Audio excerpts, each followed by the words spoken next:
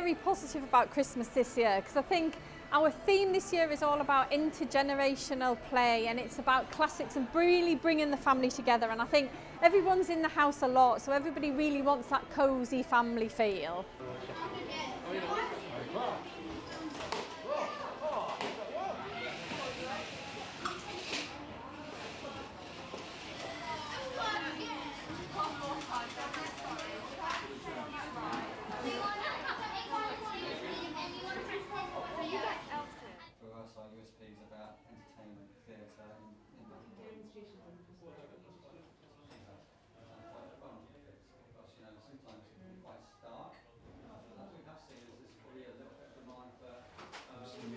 We're always aware of the film industry.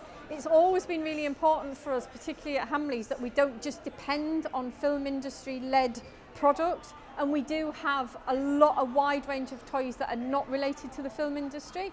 I think the gaming industry is still vitally important to us. and things like Minecraft and uh, Fortnite have been very, very um, important to us. We've had huge success and sales around those kind of categories.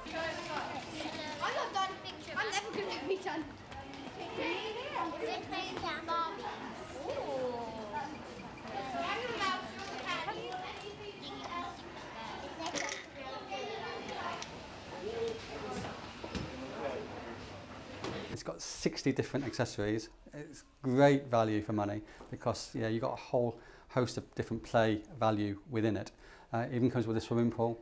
Um, you can open it up, uh, you get a little boat inside. It's going to it's, it's gonna be great for kids uh, for this Christmas.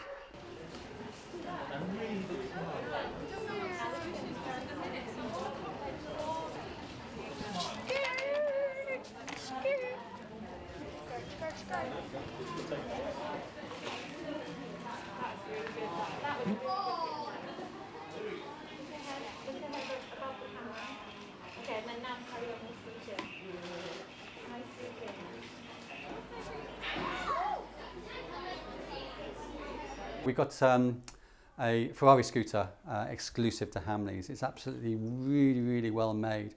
The Ferrari brand is uh, a world-renowned brand and everybody wants a Ferrari car. Um, but we've got, the, we've got this scooter which gets the kids outside. I think that's really, really important um, for this coming Christmas.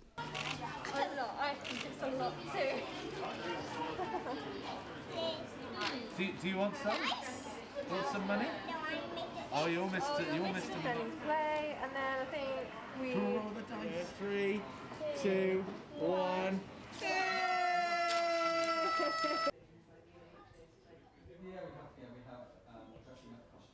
some people, so I think there's going to be there's going to be some toys.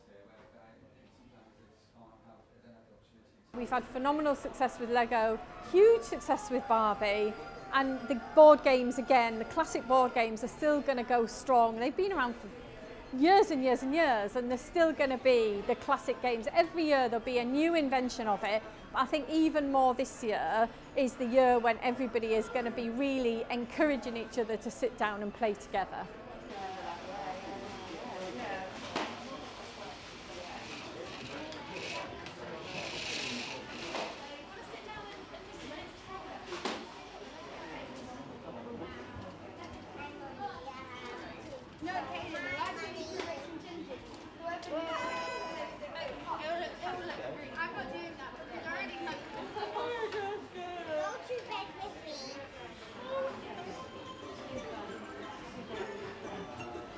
sales generally across the high street have been very flat. So I think it, it, we'd be naive to think that we're going to have a Christmas like we had last year. But we are having phenomenal success online. We are opening pop-up stores at a rate of knots. So I was just in Newcastle yesterday opening a pop-up at the Metro Centre. So we're probably going to open about eight pop-ups by the end of um, October, beginning of November. So I think, you know, I think we will have a really successful year, just in a slightly different context.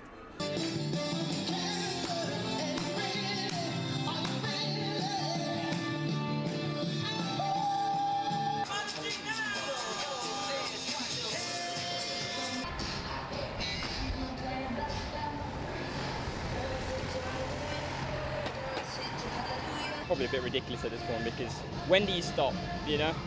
assuming this is a virus that behaves like all the others, it will come back every year.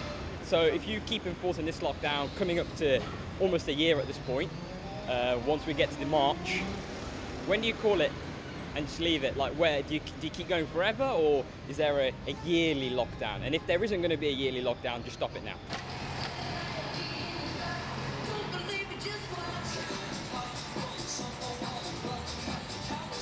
The only concern is like, is it gonna go into another lockdown? I think that's our main concern. We both work in the customer facing situation, so it's just like, what's gonna happen? We don't know. We live together with another friend. We already decided that we're not gonna do any Christmas presents this year. And I think, I think for me, Christmas present would be limited to like maybe my parents and my brother. Yeah, that's it. exactly. Nothing else. Nothing too crazy.